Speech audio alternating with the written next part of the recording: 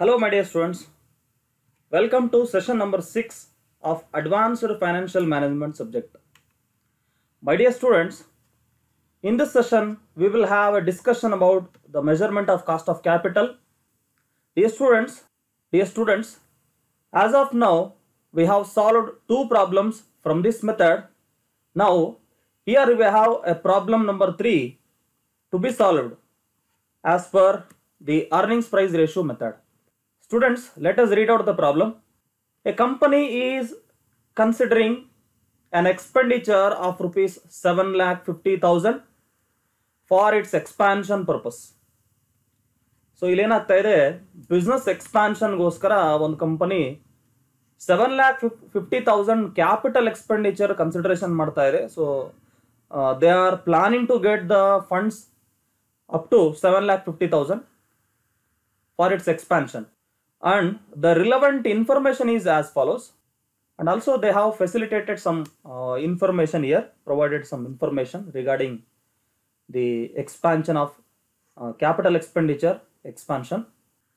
Number one, number of existing equity shares are 1 lakh. ನೋಡಿ ಈಗಾಗಲೇ ಅಲ್ಲಿ ಒಂದು ಲಕ್ಷ ಈಕ್ವಿಟಿ ಶೇರ್ಸ್ ಇದೆ okay and number two Market value of existing equity shares of rupees 100 per share. ಅಂದ್ರೆ ಈಗಿರ್ತಕ್ಕಂಥ ಒಂದು lakh shares ಏನಿದೆಯಲ್ಲ, ಅದು hundred rupee per share okay ಈಗಿರ್ತಕ್ಕಂಥ shares hundred rupee per share ಅಂತ. Market price per share and number three net income year the net income represents the earnings. Or profit available to equity shareholders right?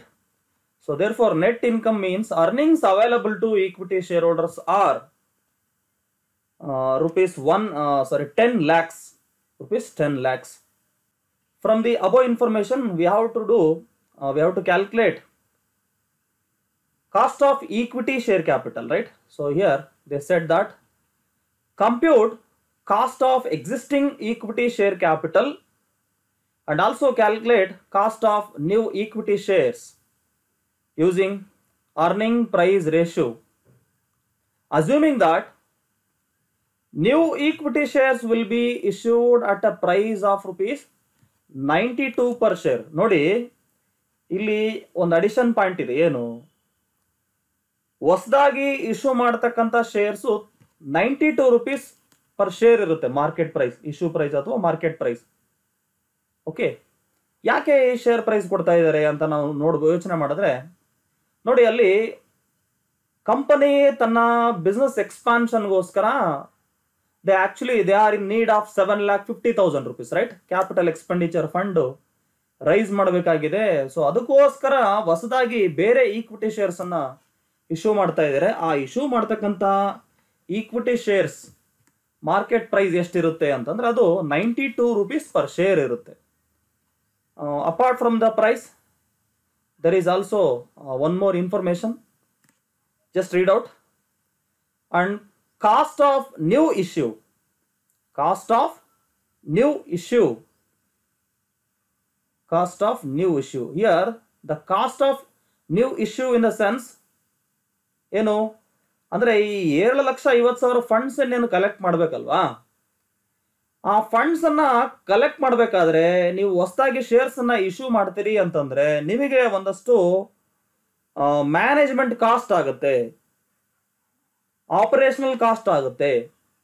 ಅಂದ್ರೆ this expenditure I mean the cost of new issue is exclusively for issuing the fresh equity shares that means here there is a flotation cost okay?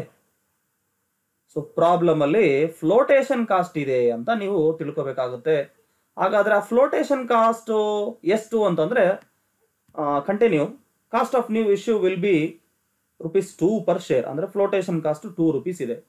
ನೋಡಿ my dear students before solving the problem we just ನೀ we just have a clarification about the market price of share and the flotation cost to be eliminated ನೋಡಿ issue price ninety two rupees ಅಂತ ಹೇಳ್ತಾ ಇದ್ದಾರೆ.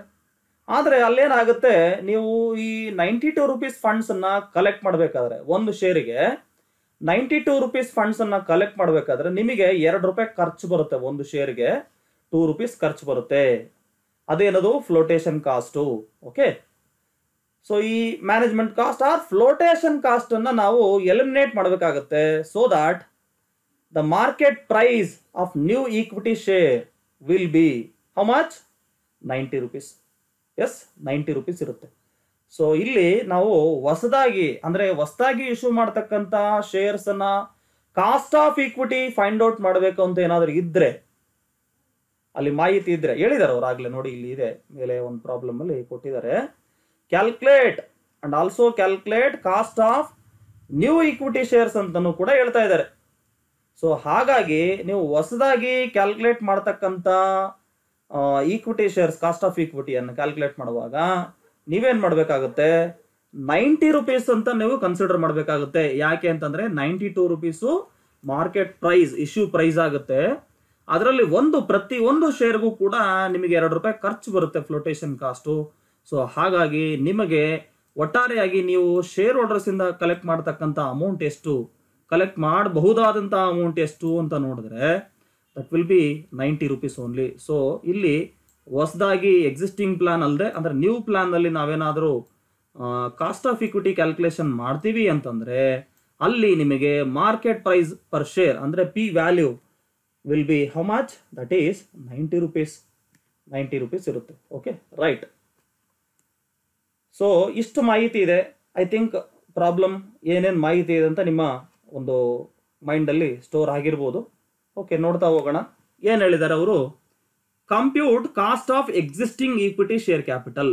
ಅಂದರೆ ಈಗಾಗಲೇ ಇರುವಂತಹ equity shares. ಈಗಾಗಲೇ ಇರುವಂಥ ಈಕ್ವಿಟಿ ಶೇರ್ಸ್ ಯಾವುದು ಅಂತ ನೋಡಿದ್ರೆ ಒಂದು ಲಕ್ಷ ಶೇರ್ಸ್ ಇದೆ, ಅಲ್ವಾ? ಅದು ಒಂದು ಶೇರ್ ಪ್ರೈಸ್ ಎಷ್ಟು? Hundred rupees. ಹಾಗೆ ಅವ್ರಿಗೆ ಹತ್ತು ಲಕ್ಷ ಅರ್ನಿಂಗ್ಸು ಕೂಡ ಸಿಗ್ತಾ ಇದೆ ಪ್ರಾಫಿಟ್ಸ್ ಬರ್ತಾ ಇದೆ. ಈ ಹತ್ತು ಲಕ್ಷ ಅರ್ನಿಂಗ್ಸು ಟೋಟಲ್ ನೆಟ್ ಇನ್ಕಮ್ ಇದು ಎಲ್ಲ ಈಕ್ವಿಟಿ ಶೇರ್ ಹೋಲ್ಡರ್ಸ್ಗೆ ಹಂಚಬೇಕಾಗುತ್ತೆ, ಅಲ್ವಾ? ಸೊ ಹಾಗಾಗಿ ನೀವೇನು ಮಾಡಬೇಕು?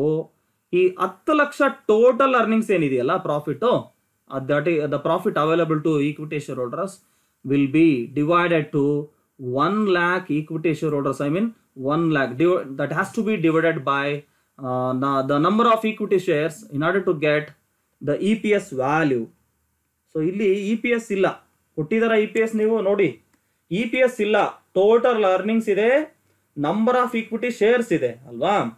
ಸೊ ಹಾಗಾಗಿ ಈ ಪ್ರಾಬ್ಲಮ್ ಅಲ್ಲಿ ಎಕ್ಸಿಸ್ಟಿಂಗ್ ಪ್ಲಾನ್ ನೀವು ಕ್ಯಾಲ್ಕುಲೇಷನ್ ಮಾಡುವಾಗ ಏನ್ ಮಾಡಬೇಕಾಗುತ್ತೆ? How to calculate E P S so E P S ಹೇಗೆ ಕ್ಯಾಲ್ಕುಲೇಟ್ ಮಾಡ್ತೀರಾ? ನಿಮಗೆ ಗೊತ್ತೇ ಇದೆ formula the profit available to equity share holders profit available to equity share holders ಎಷ್ಟಿದೆಯಪ್ಪ profit available to equity share holders that is ten lakhs ಅಲ್ವಾ? Ten lakhs ಇದೆ.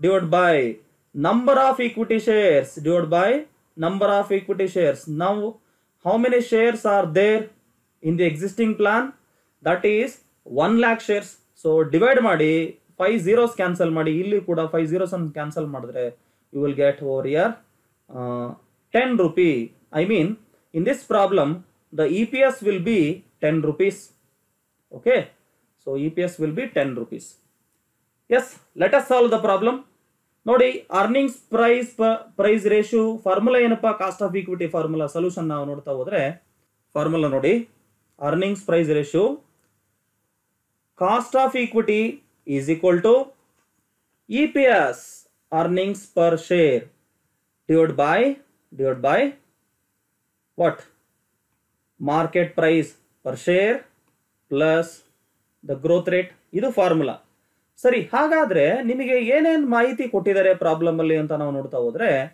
ಈಗಾಗಲೇ calculation ಮಾಡಿದ್ದೀವಿ okay calculation ಮಾಡಿದ್ದೀವಿ ಏನೇನು ಅಂತಂದ್ರೆ ಮಾರ್ಕೆಟ್ ಪ್ರೈಸು ಗೊತ್ತಾಯ್ತು ಅಲ್ವಾ? ಎಷ್ಟಿದೆ? ಹಂಡ್ರೆಡ್ ರುಪೀಸ್ ಇದೆ. ಎಕ್ಸಿಸ್ಟಿಂಗ್ ಪ್ಲಾನಲ್ಲಿ ರೈಟ್ ನ್ಯೂ ಪ್ಲಾನ್ ಅಲ್ಲ. ಈಗಾಗಲೇ ಇರುವಂಥದ್ದು ಒಂದು ಲಕ್ಷ ಶೇರ್ಸ್ ಇದೆ. Hundred rupee market price hundred rupees ಇದೆ. ಹಾಗೆ ಇ ಪಿ ಎಸ್ ಅನ್ನು ಕೂಡ ನಾವು ಕ್ಯಾಲ್ಕುಲೇಷನ್ ಮಾಡಿದೀವಿ ಈ ಪ್ರಾಬ್ಲಮ್ ಅಲ್ಲಿ. ಜಸ್ಟ್ ಈಗ ತಾನೇ ಕ್ಯಾಲ್ಕುಲೇಷನ್ ಮಾಡಿದ್ವಿ. ಬೇಕಾದ್ರೆ ಇನ್ನೊಮ್ಮೆ ಬರೀತೀನಿ ಇಲ್ಲಿ ನೋಡಿ. ಹತ್ತು ಲಕ್ಷ ಟೋಟಲ್ ಅರ್ನಿಂಗ್ಸ್ ಇದೆ. ಹತ್ತು ಲಕ್ಷ ಟೋಟಲ್ ಅರ್ನಿಂಗ್ಸ್ ಇದೆ. ಇದನ್ನ ನಾವು ಒಂದು ಲಕ್ಷ ಶೇರ್ ಹೋಲ್ಡರ್ಸ್ಗೆ ನಂಬರ್ ಆಫ್ ಶೇರ್ಸ್ ಇಂದ ಡಿವೈಡ್ ಮಾಡಬೇಕಾಗುತ್ತೆ. So that will be ten rupee ಅಂದರೆ ಇ ಪಿ ಎಸ್ ಈ ಪ್ರಾಬ್ಲಮಲ್ಲಿ ಟೆನ್ ರುಪಿ ಪರ್ ಶೇರ್ ಇದೆ. ಇನ್ನು ಗ್ರೋತ್ ರೇಟ್ ವಿಚಾರಕ್ಕೆ ಬಂದರೆ ಈ ಪ್ರಾಬ್ಲಮ್ ಅಲ್ಲಿ ಎಲ್ಲೂ ಕೂಡ ಗ್ರೋತ್ ರೇಟು ಕೊಟ್ಟಿಲ್ಲ. ಸೊ ಹಾಗಾಗಿ ನೋ ಗ್ರೋತ್ ರೇಟ್ ಜೀರೋ ಅಂತ ಅಂದ್ಕೊಳ್ಳಿ ಸೊ ಅಂದರೆ ನಮಗೆ ಈ cost of equity earning price ratio ಪ್ರಕಾರ ಕಾಸ್ಟ್ ಆಫ್ ಈಕ್ವಿಟಿ ಏನು ಕ್ಯಾಲ್ಕುಲೇಷನ್ ಮಾಡ್ಲಿಕ್ಕೆ ಫಾರ್ಮುಲಾ ಇದೆ.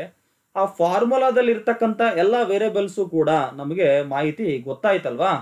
ಸೊ ಹಾಗಾಗಿ cost of equity so write down here the calculation number one calculation of cost of equity for existing plan for existing plan given data ನಾನು ಅಲ್ಲಿ ಮೇಲ್ಗಡೆ ಬರ್ತಿದ್ದೀನಿ so ಆ ಮಾಹಿತಿನ ಈ ಫಾರ್ಮುಲಾದಲ್ಲಿ ಸಬ್ಸ್ಟಿಟ್ಯೂಟ್ ಮಾಡ್ತಾ ಹೋಗಿ values so cost of equity is equal to E P S ಎಷ್ಟಿದೆ E P S calculate ಮಾಡಿದೀವಲ್ವಾ? That is ten rupee per share divide by market price per share hundred rupees hundred rupees ನೋಡಿ, ಅಲ್ಲಿ two rupees flotation cost ಇತ್ತು. ನಿಮಗೆ doubt ಬರ್ಬೋದು. Flotation cost two rupees ಇತ್ತಲ್ಲ ಅದನ್ನ ತಗೊಳ್ತಾ ಇಲ್ಲ ಅಂತ ನೀವು ಕೇಳ್ಬೋದು. ಅದು ಯಾಕೆ ತಗೊಳ್ತಾ ಇಲ್ಲ ಅಂತಂದ್ರೆ, ಆ ಫ್ಲೋಟೇಷನ್ ಕಾಸ್ಟ್ ಏನಿದೆಯಲ್ಲ ಟೂ ರುಪೀಸು ಹೊಸದಾಗಿ ಏನು ಈಕ್ವಿಟಿ ಶೇರ್ಸ್ ಅನ್ನ ಇಶ್ಯೂ ಮಾಡಬೇಕು, ಏಳುವರೆ ಲಕ್ಷ ಫಂಡ್ಸ್ ಬೇಕಾಗಿದೆ. ಆ ಹೊಸದಾಗಿ ಇಶ್ಯೂ ಮಾಡ್ತಕ್ಕಂತಹ ಶೇರ್ಸಿಗೆ ಮಾತ್ರ ಏನು ಇಶ್ಯೂ ಕಾಸ್ಟ್ ಅದು cost of new issue so that ಇಲ್ಲಿ ನಾವು ಆ ಟೂ ರುಪೀಸ್ ಪರ್ ಶೇರ್ನ ಕನ್ಸಿಡರ್ ಮಾಡೋ ಎಕ್ಸಿಸ್ಟಿಂಗ್ ಪ್ಲಾನ್ದಲ್ಲಿ ಕಾಸ್ಟ್ ಆಫ್ ಈಕ್ವಿಟಿ ಕ್ಯಾಲ್ಕುಲೇಷನ್ ಮಾಡುವಾಗ ಓಕೆ ಸೊ ಕಂಪ್ಲೀಟ್ ಮಾಡಿ ಪ್ರಾಬ್ಲಮ್ ಗ್ರೋತ್ ರೇಟ್ ಝೀರೋ ಇದೆ. So cost of equity is equal to ten divide by hundred that will be zero point one zero plus zero ಅಲ್ವಾ?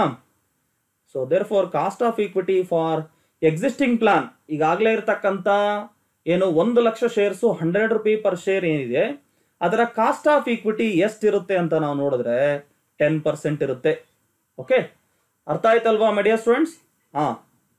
ನೋಡಿ, ನೀಟಾಗಿ ನೋಡ್ಕೊಂಡು ಹೋಗಿ ಒಂದ್ಸರಿ problem ಗೊತ್ತಾಗುತ್ತೆ ನಿಮಗೆ. ವಿಡಿಯೋ ಬೇಕಾದ್ರೆ ಇನ್ನೊಂದ್ಸರಿ ನೀವು ರಿವೈಂಡ್ ಮಾಡಿ ನೋಡ್ಬೋದು. ಹಾಗೆ ನಾವು ಇನ್ನೊಂದು ಕೂಡ ಕ್ಯಾಲ್ಕುಲೇಷನ್ ಮಾಡಬೇಕು.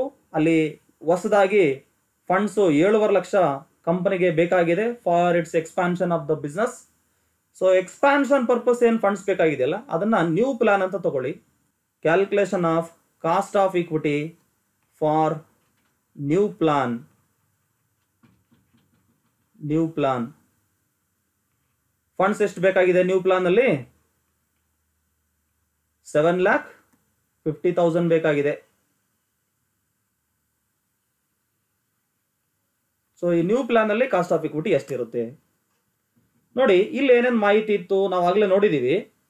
Market price per share ninety two rupees ಇತ್ತಲ್ವಾ? ಹಾಗೆ ಈ ಹೊಸದಾಗಿ ಇಶ್ಯೂ ಮಾಡ್ತಕ್ಕಂಥ ಶೇರ್ಸ್ಗೆ ಫ್ಲೋಟೇಷನ್ ಕಾಸ್ಟು ಎಷ್ಟಿರುತ್ತೆ? ಟೂ ರುಪೀಸ್ ಇರುತ್ತೆ. ಅಲ್ವಾ? ಇನ್ನು ಕಾಸ್ಟ್ ಆಫ್ ಈಕ್ವಿಟಿ ನಾವು ಕ್ಯಾಲ್ಕುಲೇಷನ್ ಮಾಡಬೇಕು. ಅದು ಗೊತ್ತಿಲ್ಲ, ಈಗ ಮಾಡಬೇಕಾಗಿದೆ. ರೈಟ್ ಕಾಸ್ಟ್ ಆಫ್ ಈಕ್ವಿಟಿ ಮಾಡಬೇಕು.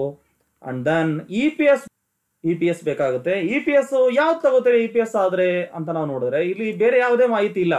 ಅಲ್ಲೇನು ಟೆನ್ ಲ್ಯಾಕ್ಸ್ ಅರ್ನಿಂಗ್ಸ್ ಇತ್ತಲ್ವಾ? ಏನ್ ಬೇಸ್ ಇ ಪಿ ಎಸ್ ಇತ್ತು. ಅಂದ್ರೆ ಈಗಾಗಲೇ ಓಲ್ಡ್ ಇರತಕ್ಕಂಥ ಇ ಪಿ ಎಸ್ ಇದೆ ಟೆನ್ ರುಪೀಸ್ ಅದನ್ನೇ ತಗೋಬೇಕು ನಾವು. ಅದೇ ವ್ಯಾಲ್ಯೂಸ್ ಅನ್ನು ಬಳಸ್ಕೊಂಡು ನಾವು ಕ್ಯಾಲ್ಕುಲೇಷನ್ ಮಾಡ್ಬೋದು. So ten rupee E P S as per the formula value substitute ಮಾಡಿ, ನೋಡಿ ಫಾರ್ಮುಲಾ ಇನ್ನೊಮ್ಮೆ ಬರಿತಾ ಇದ್ದೀನಿ. ಯಾಕೆ ನಾನು ಫಾರ್ಮುಲಾ ಪದೇ ಪದೇ ಹೇಳ್ತಾ ಇರ್ತೀನಿ ಅಂದರೆ, ನೀವು ಒಂದು ಕಲಿಬೇಕು. ಫಾರ್ಮುಲಾ ನೆನಪಿದ್ರೆ ಎಲ್ಲ ಈಸಿಯಾಗಿ ಕ್ಯಾಲ್ಕುಲೇಷನ್ ಮಾಡ್ಬೋದು. ಕಾನ್ಸೆಪ್ಟ್ ಅರ್ಥ ಮಾಡ್ಕೋಬೇಕಷ್ಟೇ ಪ್ರಾಬ್ಲಮ್ ಏನು ಮಾಹಿತಿ ಇದೆ, ಅದು ಮೈಂಡಲ್ಲಿ ಸ್ಟೋರ್ ಮಾಡಿಕೊಂಡು. ಹಾಗೆ ಫಾರ್ಮುಲಾ ನಿಮ್ಮ ಮೈಂಡಲ್ಲಿ ಇದ್ದರೆ ಸೊ ಈಸಿಯಾಗಿ ನೀವು ಸಾಲ್ವ್ ಮಾಡ್ಬೋದು. E P S divide by market price per share plus growth rate ಅಲ್ವಾ? ಸೊ ಇಲ್ಲಿ ಫ್ಲೋಟೇಷನ್ ಕಾಸ್ಟ್ ಇರೋದ್ರಿಂದ ನಾನು ಹೇಳಿದ್ದೀನಿ ಫಾರ್ಮುಲಾ ಫರ್ದರ್ ಸ್ವಲ್ಪ ರಿವೈಸ್ ಆಗುತ್ತೆ ಎಕ್ಸ್ಟೆಂಡ್ ಆಗುತ್ತೆ. P minus F flotation cost right growth rate plus growth rate calculation ಮಾಡಿ. E P S ಎಷ್ಟು? Ten rupee ten rupees divide by market price per share ninety two rupees ಇದೆ minus two rupees flotation ಕಾಸ್ಟನ್ನು eliminate ಮಾಡಬೇಕು. Plus growth rate ಇಲ್ಲಿ ಯಾವುದೇ ಮಾಹಿತಿ ಇಲ್ಲ. Growth rate ಬಗ್ಗೆ ಅದು zero so cost of equity is equal to cost of equity is equal to ten divide by ninety two minus two ninety rupees ಆಗುತ್ತೆ. Plus zero growth rate so therefore finally cost of equity is equal to 10 divided by 90 ಎಷ್ಟು zero point one one one one ಬರುತ್ತೆ plus zero ಅಲ್ವಾ so percentage ಮಾಡಿದಾಗ ನಾವು cost of equity will be ಎಷ್ಟು ಅಂತಂದರೆ eleven point one one percentage ಆಗುತ್ತೆ. Okay ಅರ್ಥ ಆಯ್ತಲ್ವಾ my dear students thank you have a nice time thank you